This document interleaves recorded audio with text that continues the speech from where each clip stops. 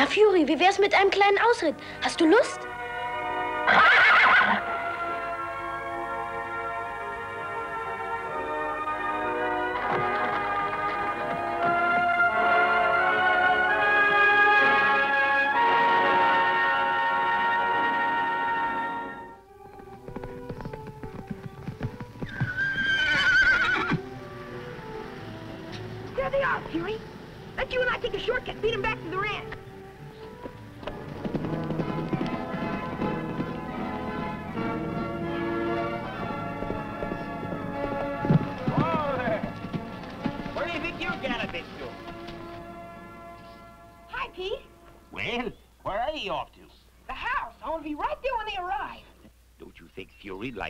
Bridle taken off? Sure, I'll take it off right after I meet Val Benton. Just think the world's champion cowboy right here at the Broken Wheel. You've been giving me that news ten times a day for a week now. Well, Val is the best there is. And even if he is in a wheelchair, bet I could learn lots of rodeo tricks from him. But just remember, a champion cowboy always takes care of his horse first. Then his horse will be in shape to help him be champion. I always take care of Fury. Don't I, Fury?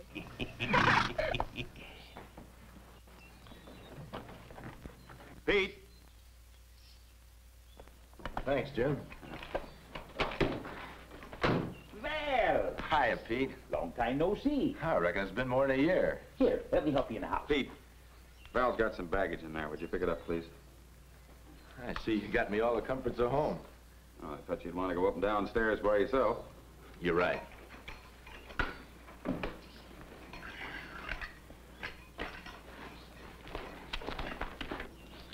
Just point me, Jim. This is one Maverick I can ride.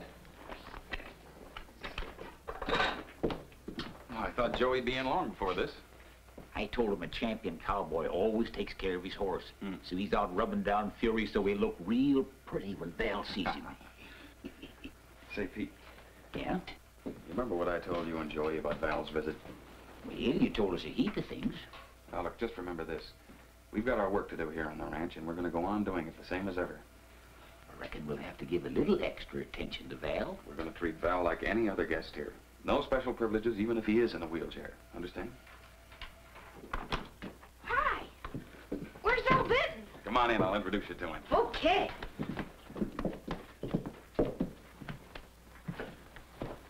Val, this is my boy Joey. Howdy. Gosh, Mr. Benton, I'm sure pleased to meet you. Guess you're kind of surprised to see me riding this, huh? No, Jim told me he had an accident. Guess you'll be back riding Broncos any time now.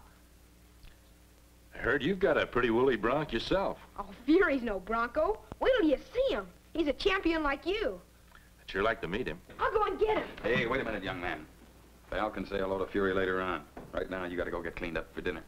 I won't be long. We're having steak and mushrooms. And blueberry pie. Sure a fine boy, Jim. Uh, thanks. Here, look at this. He's your number one fan, Val. Ever since I told him that you and I used to go rodeoing together, he's been collecting stories and pictures and everything about you.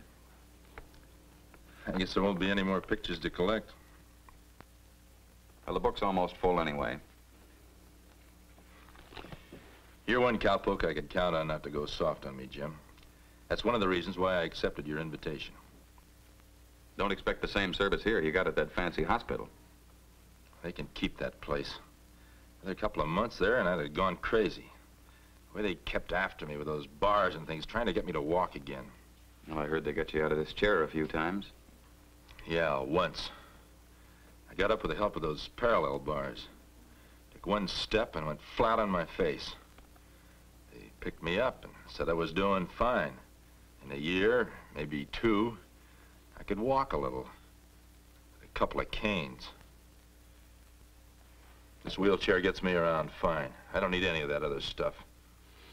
Well, you won't get any of that other stuff here. You'll be on your own mostly. Pete and I have our work to do. Joey will be in school most of the day. That suits me fine. I never had a minute's peace in the hospital. People from the rodeo, friends, strangers wanting autographs, with their get-well-quick grins and their cheery pep talks. I was fed up to here with it. Well, That's what you get for being a world champion cowboy. I guess I shouldn't kick Jim. I made a lot of money and I saved most of it. Anyway, this, this ranch will be a nice place to think about it. Yeah, well, I, I guess you're right, Val. Yeah, that rodeo circuit's old stuff. Glad I got out of it when I did. Hmm. The glaring spotlights and the screaming of the crowds. I feel the bronc under you when you're coming out of that chute. No, that's no kind of life for a man. Well, guess I'll go see how Pete's doing with dinner.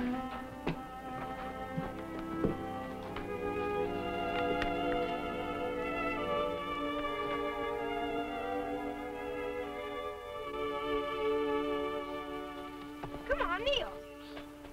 What's all this about? Joey's got an idea that the broken wheel is being turned into a rodeo training ground. Good, Fury. Now up. That kid. You know, he had Val talking for a whole hour about the Calgary Stampede. you know, Jim, I can't figure Val out. He seems mighty contented in that wheelchair of his. I don't think so, Pete. I think he hangs onto that chair like a shield. What do you mean?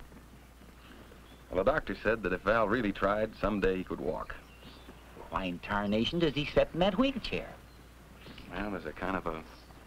kind of a fear that gnaws away at a man, Pete. Holds him back. I think that's happening to Val. The doctor sort of figures that Val hangs onto that chair to prove that nothing can be done for him. Maybe somebody ought to set off a stick of dynamite under him. You know what I think? I think it's Val that has to do the blasting. That's a good boy. Now you watch me.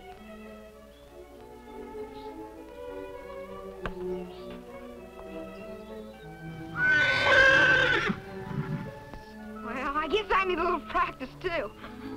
Hi, Joey. Hi, Val. I'm gonna show Val a new trick. Hi, Val. Did you see Fury kneeling? Yeah, that was real fancy. Did it take you long to teach him? Nah, Fury learns fast. We're practicing for the next junior rodeo. Watch. You're never going to win any roping contest that way. Here, let me show you. Now, you got to watch me closely because it's all on your wrist.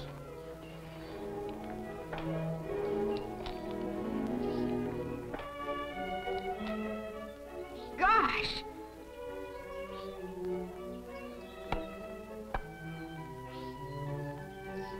Swell.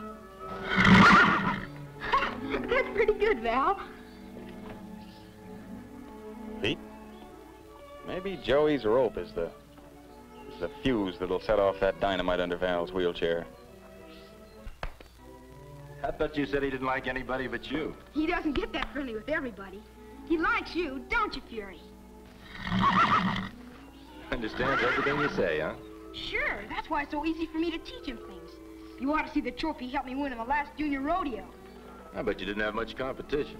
Sure did. It was a miracle we didn't lose. Oh, I don't believe it was a miracle, Joey. You and Fury were just the best entry. Well, sometimes you can be the best, but something happens. And it looks like you haven't got a chance. But if you keep on having faith, a miracle can happen, and you'll win. You really believe that, Joey? Uh-huh. Did you ever tell Jim about this miracle? Well, no, he, he never asked me. But Fury knows about it. I wish I were your size again, Why? so I could believe in miracles. Well, size has nothing to do with it. Miracles can happen to all kinds of people. If you want something good to happen, all you've got to do is believe hard enough. You know, Joey, not so long ago, I believed so very hard that I'd walk again. But nothing happened. No miracle. Just a wheelchair. Well, I wish for an awful lot of things and never got 'em. But that didn't stop me from keeping on wishing and believing. And then when things really count, and I really believe in them, they come true. And one day you're gonna walk, I know. I'd give anything in the world if, if I could only believe like you do, Joey.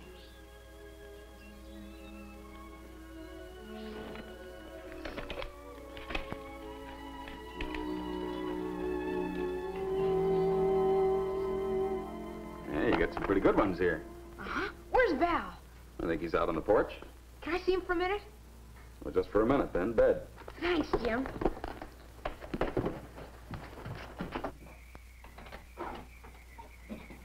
Hi, Val. Like to see my scrapbook? Sure, Joey.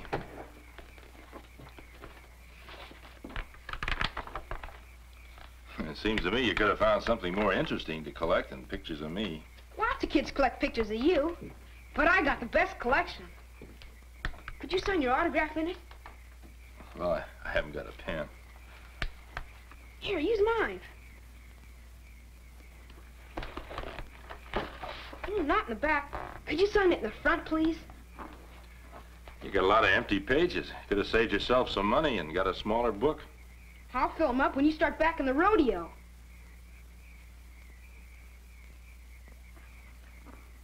Gee, that's swell. Why don't I show that to the kids at school? Say, maybe you could ride down tomorrow and meet some of them. Joey, you know I couldn't do that.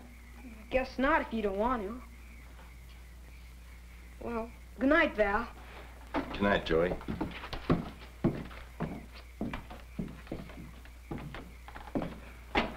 Must have taken him a long time to collect all those pictures. Oh, he gets a kick out of it, Val.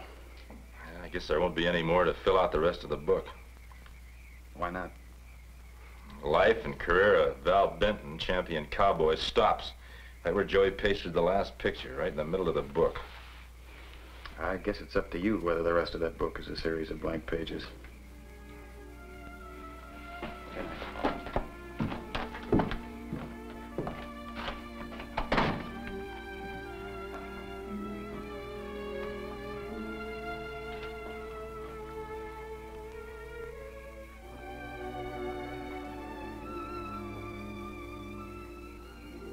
Tonight I got something little special to ask for you.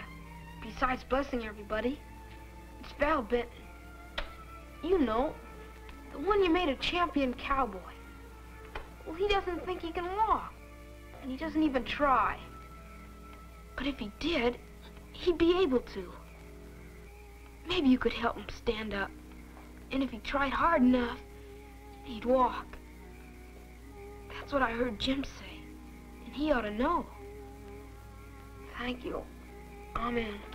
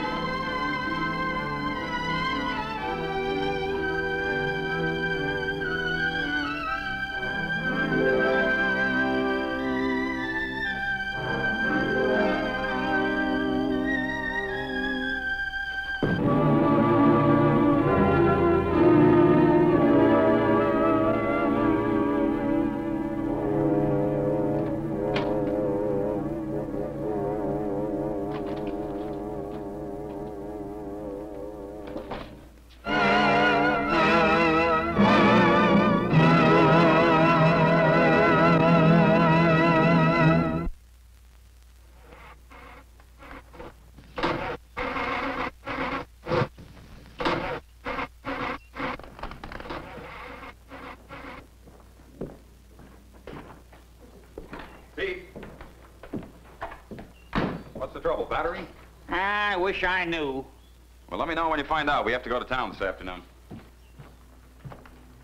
Pete and I are going into town. Can we bring you anything?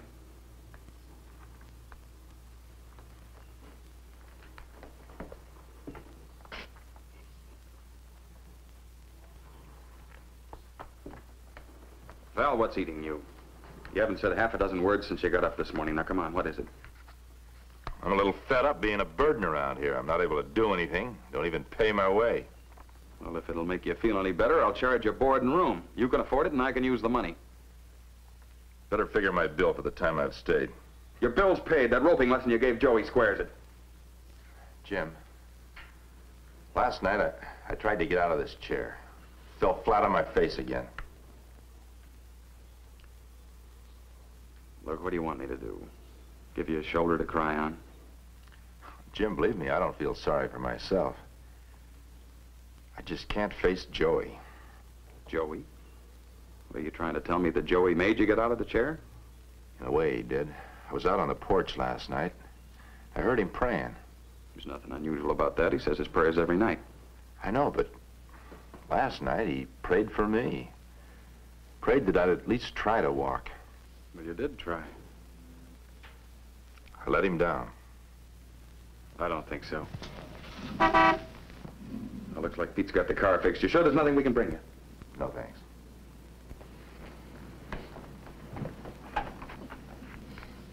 Val, at least you tried.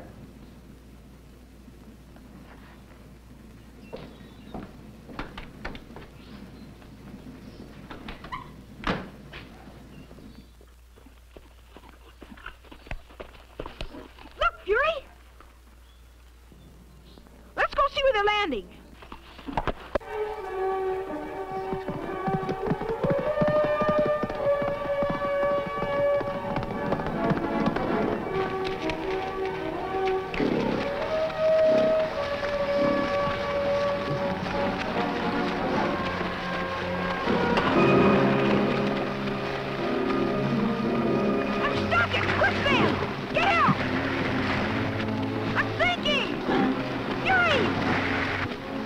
I'm stuck! I can't get out! Hurry, Fury! Quicksand! Fury! Fury, I'm stuck! Go get help!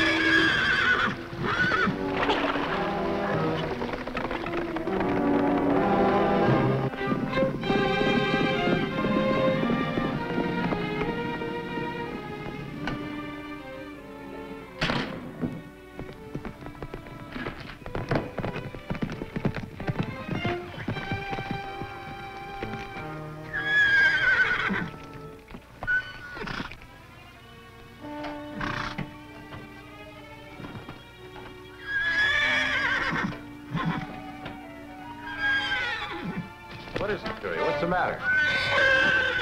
Joey! Ho! Joey!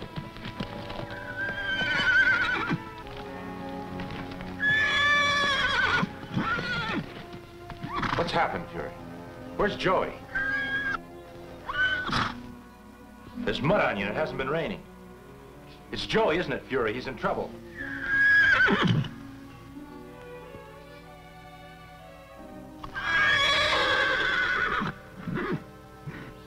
Steady, boy. Stay there now.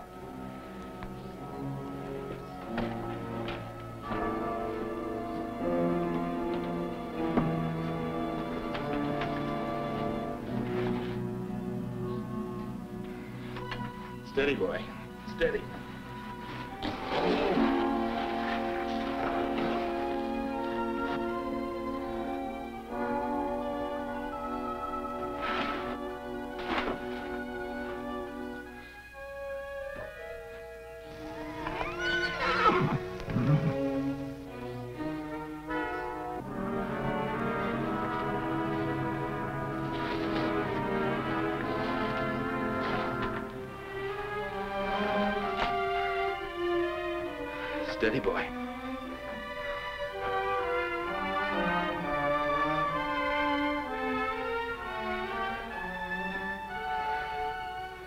Right, Fury, let's go.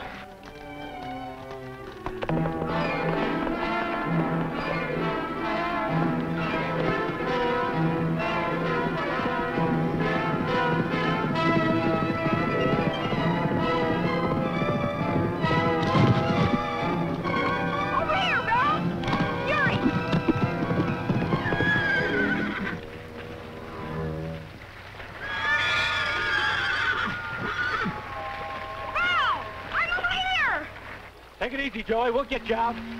Don't bring Fury closer. There's quicksand here.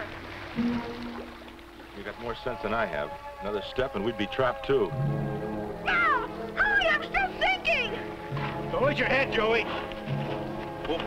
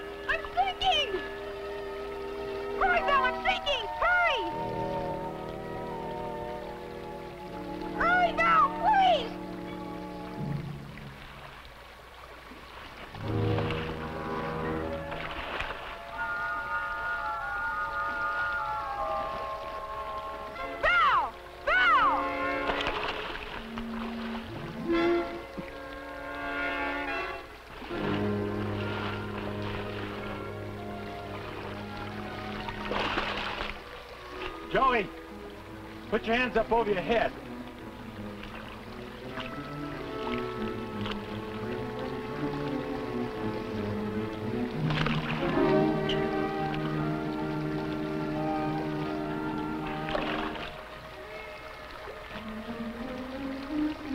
Joey, when I pull, push with your hands.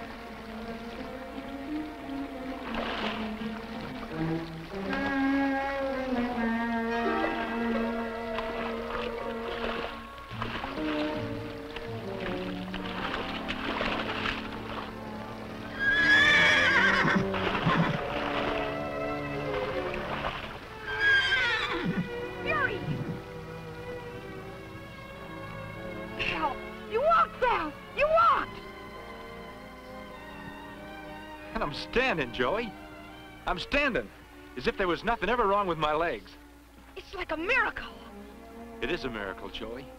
It's a miracle, just like you read about. Come on, let's go back to the ranch and make a junk pile out of that wheelchair.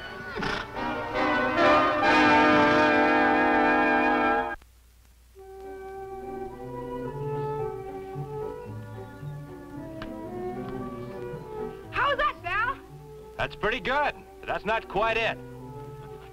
Jump down a minute and I'll show you.